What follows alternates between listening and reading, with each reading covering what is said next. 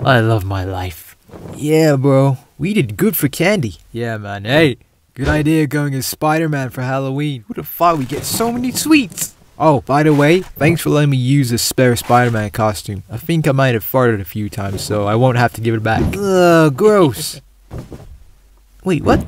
I didn't say it was a spare.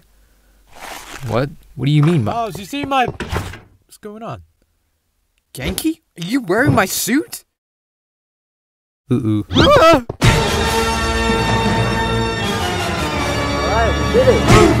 yeah, boy.